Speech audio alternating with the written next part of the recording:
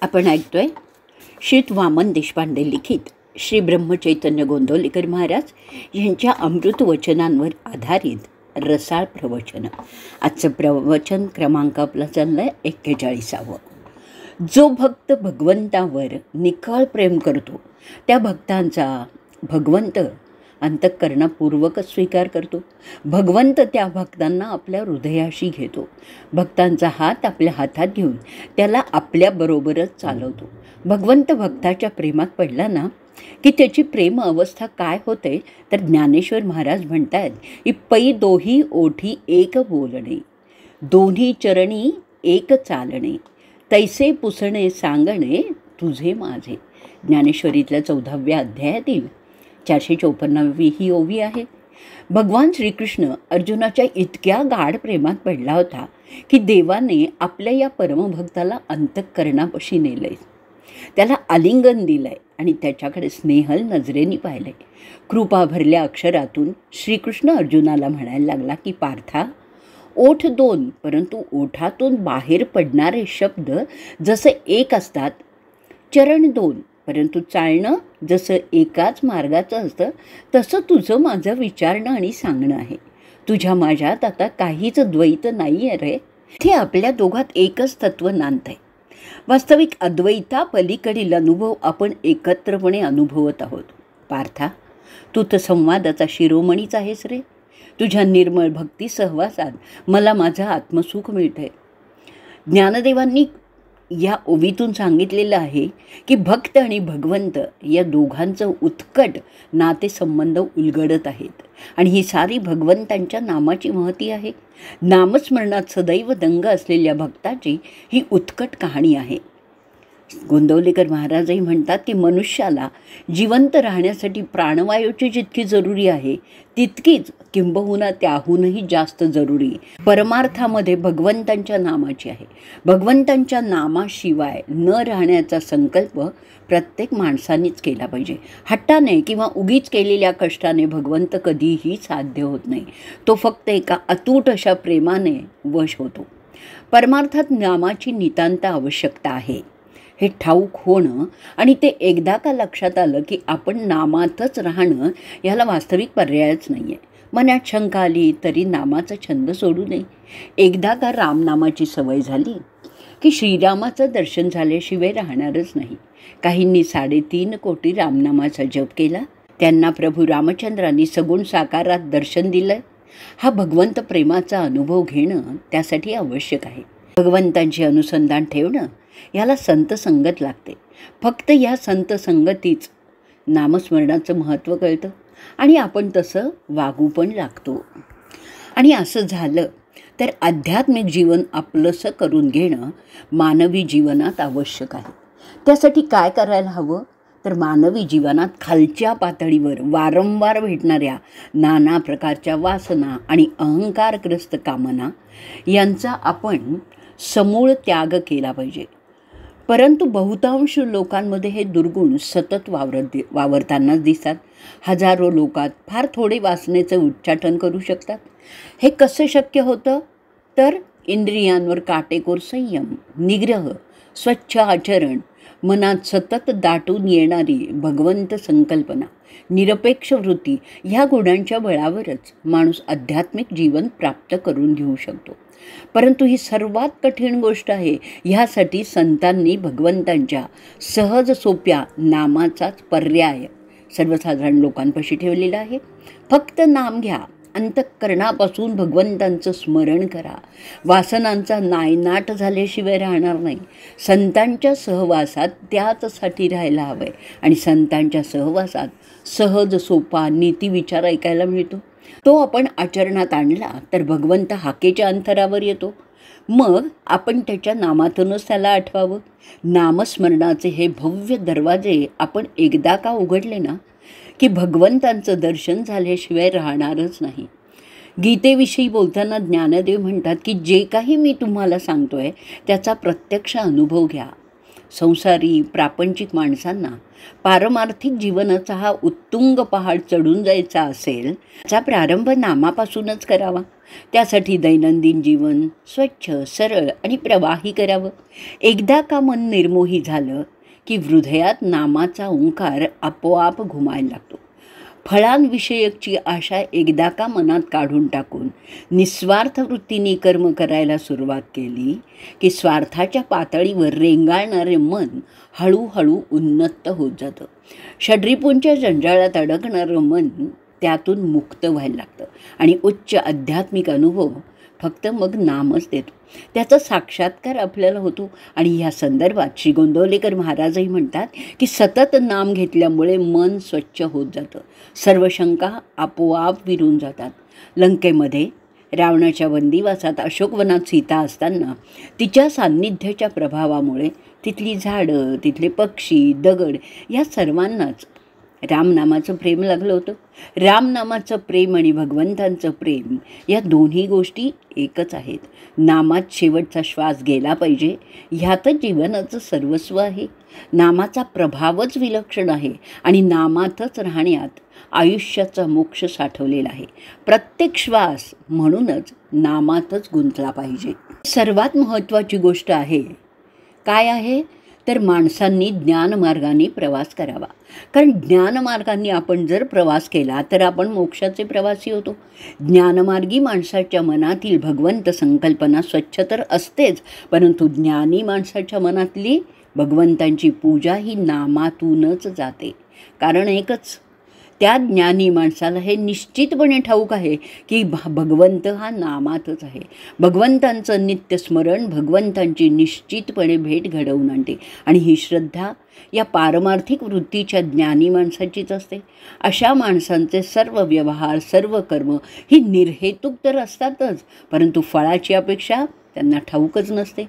प्रत्येक कर्म हे भगवंताला अर्पण करीत असून अतिशय आनंदात नामधारक आयुष्य काढीत असतात. मग त्यांच्या मुखात नामाव्यतिरिक्त बाकी काहीच नसतं. अर्पण बुद्धीनी प्रत्येक कर्म करणाऱ्या माणसाचं नामस्मरण हा एक विलक्षण असा भक्तिसंचय आहे. प्रपंच आणि परमार्थ यांचा तोलबिंदू ते इतका अप्रतिम सांभाळतात की आश्चर्यालाही आश्चर्य वाटावं. मग अशा आयुष्यालाच फक्त नामस्मरणाचा सुगंध सुटतो. ह्या माणसांच्या आत्मिक सुखाला मर्यादाच नसतात.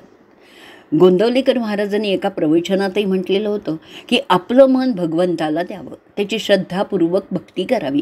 काळजी करणं म्हणजे भगवंतावर भरोसा नसणं विश्वास नसणं प्रारब्धावर देह टाकणं ही खरी संन्यस्य वृत्ती आहे. वासना न ठेवता आपल्या हातून कर्मच होत नाही. त्याला काय करावं? माझं समाधान माझ्याजवळ असताना दुसरीकडे ते मिळेल असं आपल्याला वाटतं हेच आपलं चुकतं. मग एक लक्षात ठेवा हवे पण संपलं जोवर नाही तोपर्यंत समाधान नाही आहे आणि म्हणूनच ज्याची वासना नाहीशी झाली तो मोक्षालाच पोचतो. महत्त्वाचं काय तर मनातील सतत जागृतावस्थेत असलेली वासना नष्ट व्हायला हवी. पारमार्थिक आयुष्य जगण्यात वासनामय देहाची विल्हेवाटच लागायला हवी. जोपर्यंत हा वासना देह आहे तोपर्यंत नाम मनात घुमतच नाही. अनुसंधानाच्या आड वासना येते आणि म्हणून ती पहिल्यांदा नष्ट करायला पाहिजे. विषयाची तळमळ लागण्याच्या ऐवजी भगवंत दर्शनाची तळमळ लागणं अधिक महत्त्वाचं आहे. भगवंत दर्शनाची तळमळ म्हणजेच नामाची तळमळ. मग ती लागायलाच हवी. त्यासाठी संत संगत महत्त्वाची आहे. संतांच्या संगतीत अभिमान गळून पडतो. आणि अभिमान एकदा गळून पडला म्हणजे अहंकारही संपुष्टात येतो. अहंकार संपला की भोवती भक्तीचा स्वच्छ उजेड पडतो. मग ह्या भक्ती उजेडात ज्ञानाचा प्रवासच सुंदर होतो. आपल्या साधनेच्या आड काय येतं? देहबुद्धी येते. मग ती संपली की साधना उत्तम होते. आणि मग भगवंतांच्या नामस्मरणातच आनंदाचा प्रवास सुरू होतो. ह्या क्षणाची वाट पाहणं ह्या क्षणात स्वतःला हरवून जाणं यासारखं दुसरं सुखच नाही आहे ह्या नामाचं परमोच्च सुख प्रत्यक्ष अनुभवणं हाच आनंद मोक्ष आहे आणि तो प्रत्येकाने घ्यायलाच हवा. शेवटी आपल्याला कुठल्या मार्गाने जायचं आहे हे आपलं आपल्यालाच ठरवावं लागतं.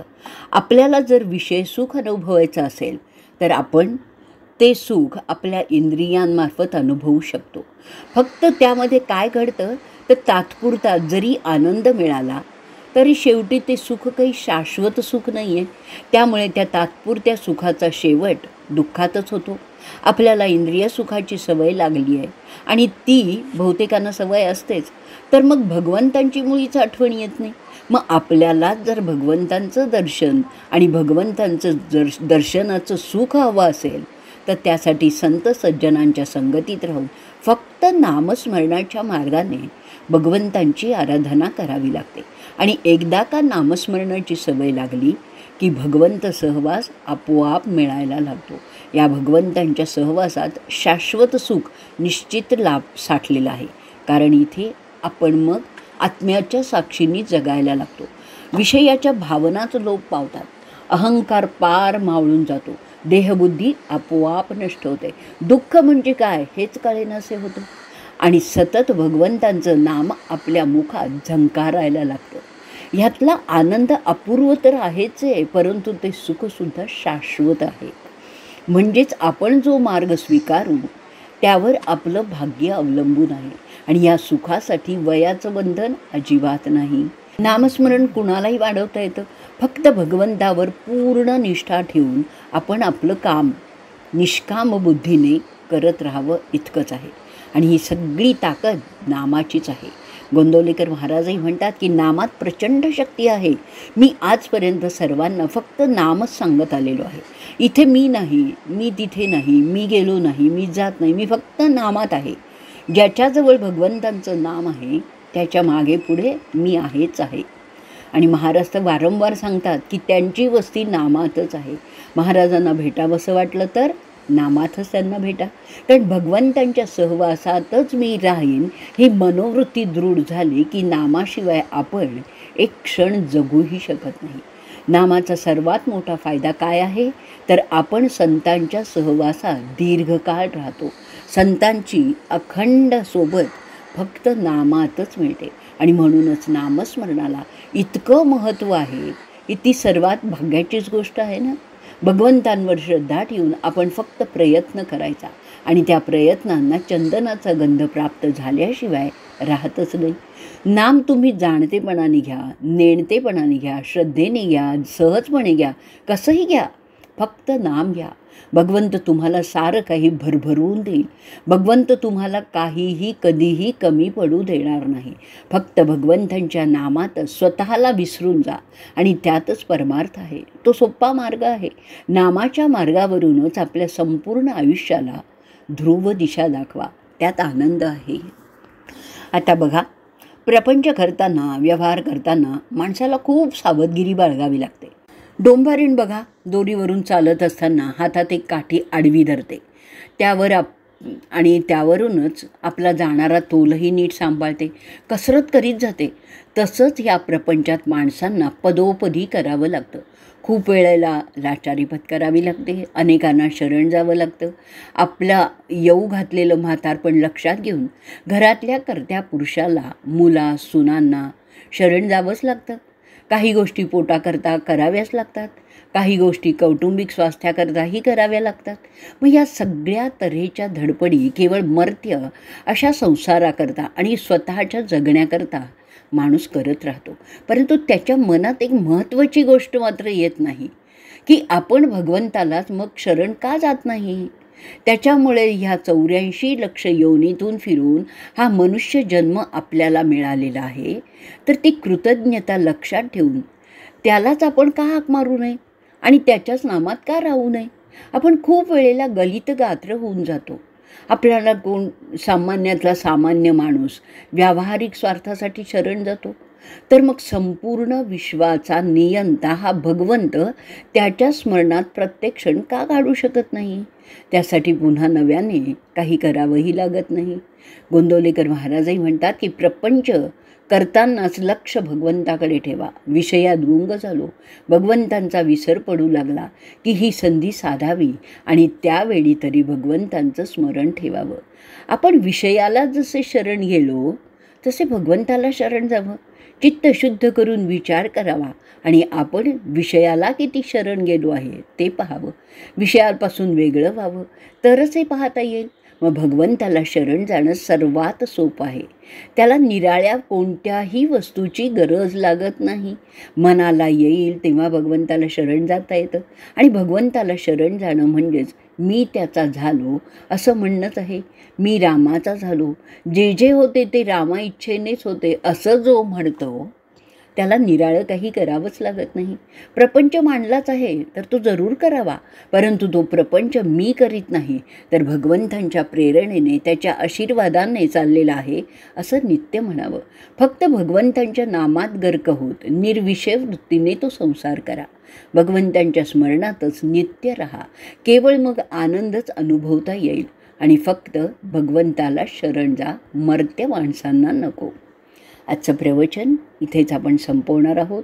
श्रीराम जय राम जय जय राम.